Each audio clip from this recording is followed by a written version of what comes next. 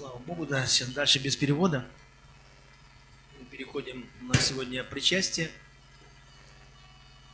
Евхаристия. Да, я прочитаю буквально два места из Писания. И давайте мы вместе откроем Евангелие от Матфея. У кого есть Библия, 27 глава, 45 стиха. От шестого же часа тьма была по всей земли до часа девятого, а около девятого часа возопил Иисус громким голосом «Или, Или, лама савахвани». То есть, «Боже мой, Боже мой, для чего ты меня оставил?» Перевод с арамейского языка. Некоторые стоявших там, слыша это, говорили «Илью зовет он». И тот час побежал один из них, взял губку, наполнил уксусом и, наложив на трость, давал ему пить. А другие говорили «Постой, посмотрим, придет ли Илия спасти его». Иисус же опять, возопив громким голосом, испустил дух. И вот завеса в храме разодралась надвое, и сверху донизу, и земля потряслась, и камни расселись, и гробы отверзлись, и многие тела усопших святых воскресли, и, выйдя из гробов, по воскресении его вошли во святый город и явились многим. Сотник же и те, которые с ним стерегли Иисуса, видя землетрясение и все бывшее, устрашились весьма и говорили, воистину он был Сын Божий. Вот это вот великолепная картина, которая описывает нам евангелист, апостол Матфей, да, о том, что произошло 2000 лет тому назад. И она просто невероятна тем, что происходило во времена, когда Ишуа Машиах умирал да, на Голгофском кресте. И было очень много и иудеев, которые пришли, из фарисеев, его ученики, некоторые, которые осмелились, да, Иоанн, женщины, мать Мария, оказались свидетелями. И в том числе оказались свидетелями римские воины. Вы знаете, римские воины это понятно, что, да? Это профессиональные убийцы, те, которые видели очень много смертей. Вы знаете, вот я могу сказать, что я человек, который видел очень много смертей. А, почему? Потому что я работал в реанимации. Да? Я работал, я много раз об этом говорил, я работал в еврейской команде Брандорфов, да, и у нас был заведующий Дмитрий Семенович Брандорф, который потом уехал в Израиль, и он меня а, наставлял и давал очень много таких разных знаний. Но, к сожалению, я работал в 90-х годах, когда в онкологии я работал в онкодиспансере, а, умирало очень много людей онкологические больные, и, как я уже тоже один раз упоминал, что очень много умирало именно таракальных, таракальное отделение, э, легочные, ну, взяли, отрезали, там, вырезали рак легкого, да, левое легкое удалили, там, через два дня человек умер. И мы знали, что эти люди долго жить не будут. Я всегда удивлялся, зачем делали эти операции. Ну, видно, это было просто как-то вот на уровне эксперимента, что вот сколько проживет, и потом научились э, резать, удалять там сегмент легкого или а, две доли легкого или полное легкое, там, ну, замещающее тело. Но многие люди в те, в те годы умирали, да, я видел много смертей. То есть я работал в реанимации, вот, и очень много людей отходило, и я видел, как люди умирают. Я могу так сказать, что люди умирают по-разному.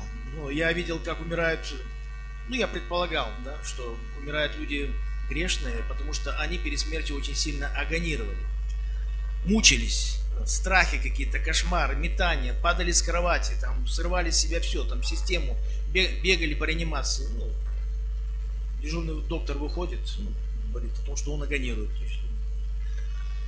Ему немножко осталось, то есть буквально там минут 10, 15, 20 он проживет и потом умрет, потому что перед смертью люди агонируют. Ну, это как бы известный факт. А, и я увидел, как умирали а, люди, которые верили в Бога, люди, которым я проповедовал буквально вот э, две смены или одну смену назад, не успел их исповедать и привести к покаянию. А, я видел, как э, умирают эти люди с улыбкой на устах и просто вот, ну, как будто бы он уснул. Он уснул и просто не проснулся. И вы знаете, э, ну, я совсем недавно читал про Кэтрин Кульман, да, э, как она умирала.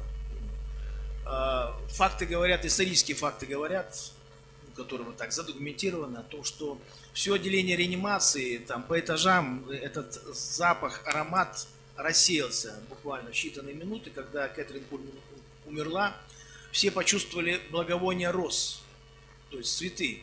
Просто вот, и люди говорят, откуда цветы, кто принес цветы? Нету никаких цветов. Просто Кэтрин Пульман ушла на небо.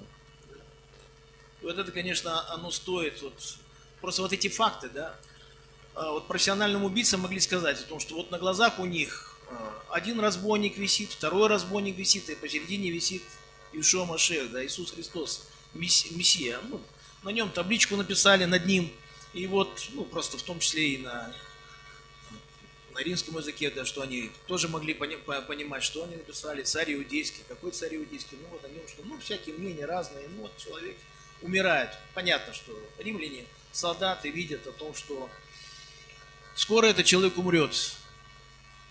Не думали, не надеялись, что он умрет так быстро – Хотя можно было предположить, потому что те муки, которые перед этим перенес э, Иешуа, да, они были страшными.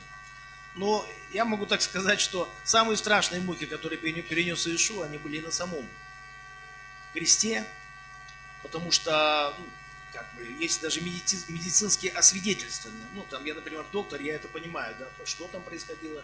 Произошла централизация крови, потому что так как о, о, Иисус много крови потерял еще до того, как его прибили, да, то есть его истягали римскими плетьми, я не буду описывать, какие они, да, ну, то есть его разодрали в клочья просто.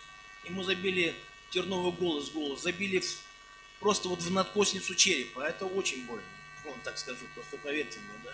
И оттуда тоже текла кровь. Ему пробили руки и ноги, да, и оттуда текла кровь. И вот так как он уже потерял очень много крови, пока он дошел до Голгофы, то произошло уже тогда централизация крови, и вся кровь централизовалась для того, чтобы обеспечивать кровью головной мозг, чтобы еще хоть как-то можно было как-то вот так размышлять, думать, да, то есть вся кровь, она скопилась в сердце, а вся лимфа или астматическая часть жидкости, телесных жидкостей их еще называют, она скопилась в прикардиальной сумке, в перикарде. То есть в сердце кровь, в прикардиальной сумке синуальная жидкость, да, телесная жидкость. И вот профессиональный убийца подходит, а Иисус уже умер. Он спустил дух. И вот просто, чтобы убедиться, да, знаете, просто берет и пронзает, бьет ему под ребро, пронзает ему печень.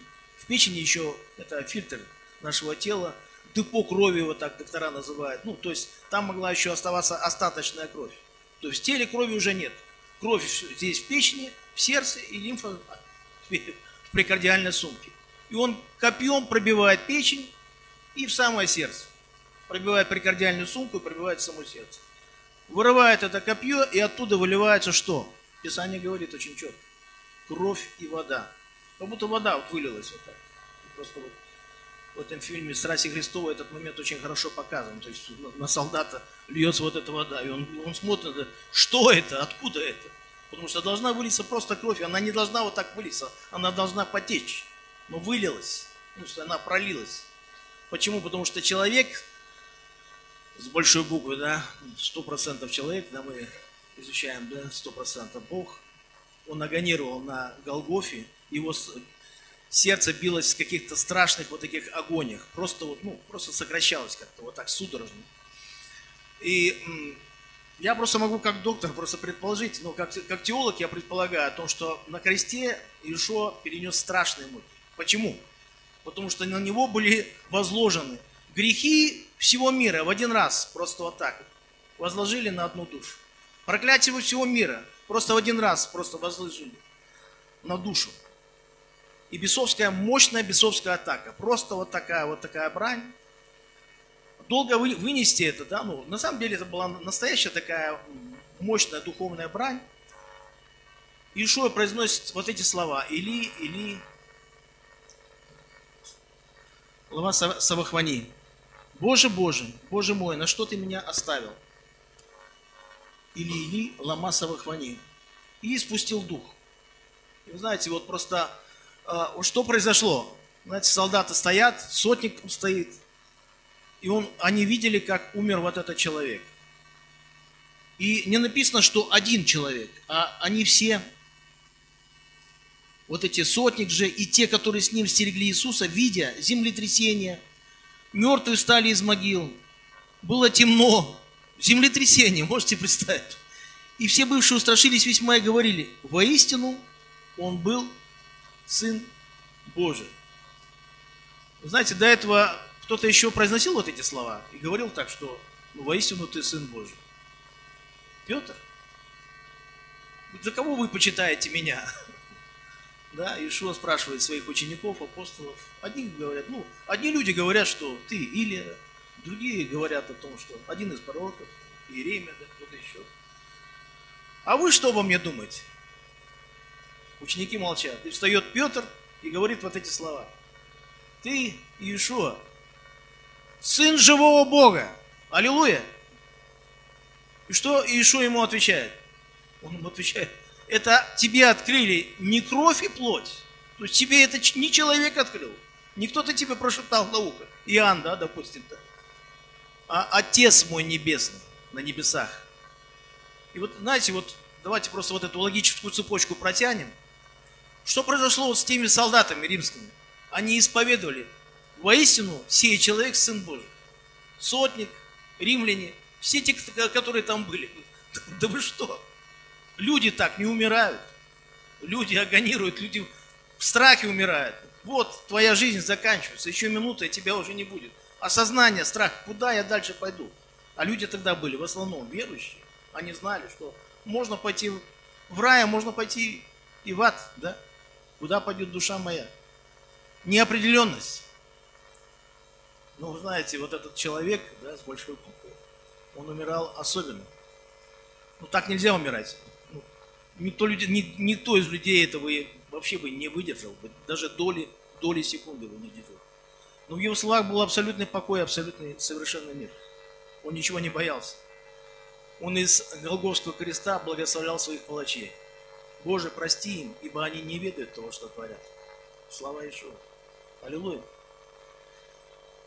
И вы знаете, я хочу еще одно место открыть, и мы приступим к Евхаристии, причастию. И это написано в первом послании от Иоанна, апостола Иоанна Богослова, в 4 главе, с 9 стиха. И вот апостол Иоанн восклицает, «Любовь Божья к нам открылась в том, что Бог послал в мир единородного Сына Своего, чтобы мы получили жизнь через Него. Том любовь, что не мы возлюбили Бога, но Он возлюбил нас и послал Сына Своего в умилостивление за грехи наши. Возлюбленный, если так возлюбил нас Бог, то и мы должны любить друг друга. Бога никто никогда не видел. Если мы любим друг друга, то Бог в нас пребывает, и любовь Его совершенно есть в нас. Что мы пребываем в Нем, и Он в нас, узнаем из того, что Он дал нам от Духа Своего. И мы видели и свидетельствуем, что Отец послал Сына Спасителя мира. Кто исповедует, что Иисус есть Сын Божий? И смотрите, вот этот 15 стих. Кто исповедует, что Иисус есть Сын Божий, в том пребывает Бог, и Он в Боге. Аллилуйя. И мы познали любовь, которую имеет нам Бог, и уверовали в нее. Бог есть любовь, и пребывающий в любви пребывает в Боге, и Бог в нем. Любовь до того совершенства достигает нас, что мы имеем дерзновение в день суда, потому что поступаем в мире сем, как Он. Очень важно не просто знать, что Иисус есть Бог, да? Очень важно поступать в этом мире так, как Он поступал. Потому что Он желает в нас продолжать свои дела, свои деяния. В любви нет страха, но совершенно любовь изгоняет страх, потому что в страхе есть мучение, боящийся несовершенной любви. Будем любить его, потому что он прежде, в другом месте написано, он первый возлюбил нас. Он прежде возлюбил нас. Еще раз прочту 15 стих. Смотрите, что произошло с римскими воинами, которые стояли под Голгофским крестом. Они исповедовали, что Иисус есть Сын живого Бога, Сын Божий. А здесь Писание говорит, кто исповедует, что Иисус есть Сын Божий, в нем в том пребывает Бог, и Он в Боге. Аллилуйя, да? И вы знаете, история тоже об этом говорит. История говорит о том, что особенно во времена Нерона, императора Нерона, когда этот безумный император, маниакальный человек, да, абсолютно поджег Рим, Рим обвинил христиан в поджоге. И христиан начали поджигать буквально как факелы для того, чтобы осветить дорогу Нерону. И он шел вот так и радовался, писал свои безумные стихи. Ну, вы знаете, вот э, римские воины, которые поджигали вот этих христиан, э, каялись, приходили к Христу тысячами, просто тысячами. Понимаете, да? Исповедали, ну, в том плане, что когда ты видишь, вы знаете, как умирали христиане в тюрьме? Вот христиан ведут вот по дороге, да, ведут их на верную смерть. Кого-то распнут, кого-то не только распнут, еще подложат туда сток, сток сена, да, и подожгут, и он будет не только распят, он еще будет гореть. И вы знаете, я об этом уже как-то проповедовал, это исторический факт, он написан. И описан очень подробно, да, и просто это независимые историки, которые вообще в Бога не верили, просто описали вот эти, в этой ситуации. Христиане шли на верную смерть, они шли с радостью. Они шли с песнями, в песнопении. Какой псалом приходит? Радостный псалом.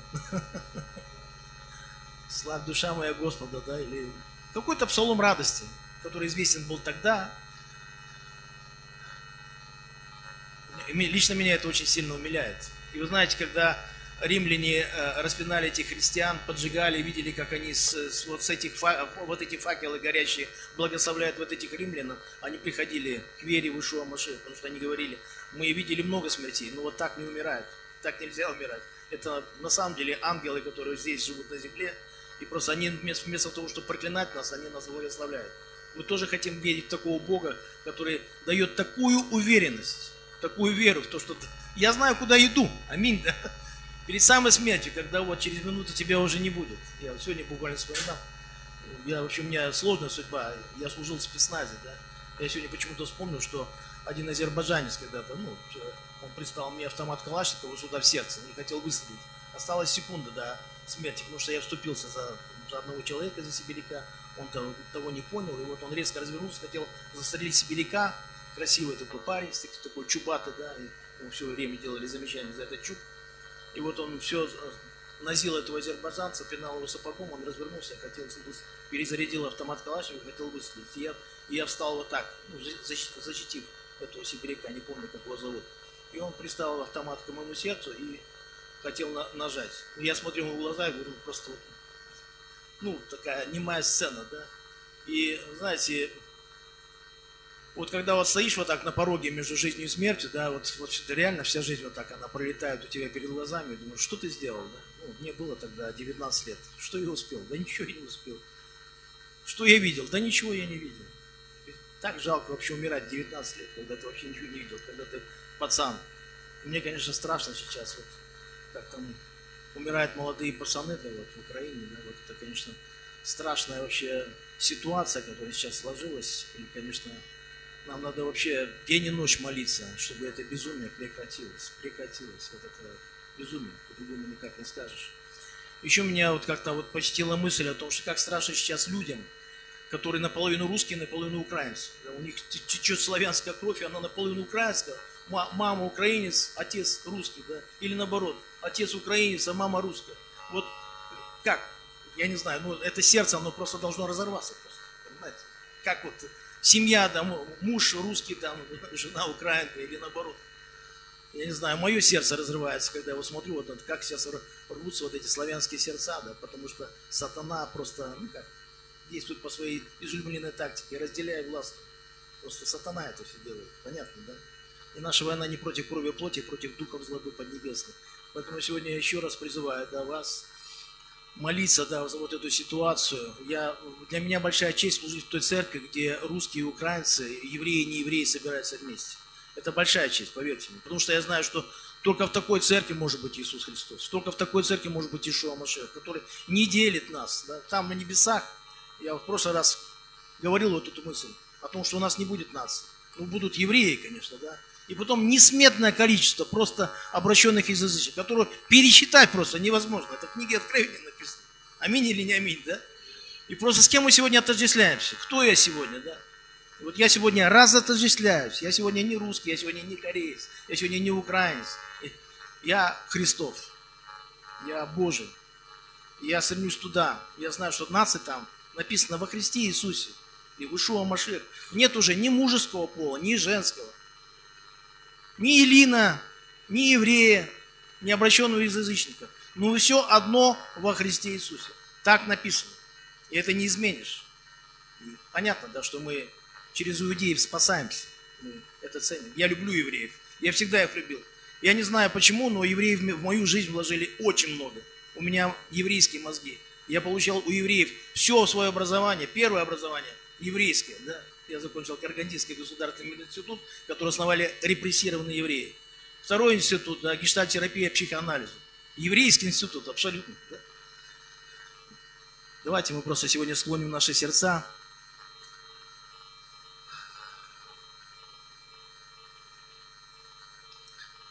Я еще раз повторю о том, что э, в причастии принимают участие члены тела Христова. Может быть, ты сегодня приехал с другой церкви. Это вопрос твоей совести, это вопрос водительства Духом Святым, о том, что если ты считаешь, если совесть твоя не обличает тебя, если ты омыт кровью Иисуса Христа, имеешь дерзновение, то ты можешь сегодня принять это причастие крови и телу Христову вместе с нами. Да, если ты с мессианской синагоги, это наши братья, которых мы, наша церковь, наша община почитает больше себя. И мы их также принимаем, как своих братьев, и благословляем их также на принятие причастия. Сегодня моя жена говорила о том, что мы когда-то получили откровение, что мы руки Христа. И я бы хотел добавить, что мы пронзенные руки Христа. Когда мы помогаем кому-то, наши сердца уже пронзены. Мы знаем эту боль. И мы говорим людям, не думай, что тебе больно. Христу было на кресте больнее. Не думай, что тебе тяжело. Потому что Иешуа на Голгофе было намного тяжелее. Можешь сказать на это аминь? Да это так. Ты идешь куда-то, да, вот, в стоматологический кабинет и думаешь, вот сейчас, ну, правда, сейчас уже такие анестетики пошли, что там челюсть могут снести, ничего не почувствуешь. Ну вот, да, голову могут поменять, это точно. Ну, вот дочь моя сейчас идет в роддом, да, и, ну, слава Богу, у нее есть вера, она верующая. Э, я просто хотел бы ей сказать о том, что, ну, Христу было больнее, да, поэтому вот довериться Христу, сказать, Господь, я в Твоей руке, да, Ты через такое прошел, Ты и меня проведешь. Хвала Тебе, всемогущий Бог, Господь. Мы молимся прямо сейчас. Я хотел попросить сегодня и а, пастора Александра и пастора Романа принять участие в том плане, что мы э, в раздаче тела Христова и крови Христовой. Господь, мы благословляем Твое святое тело. Мы принимаем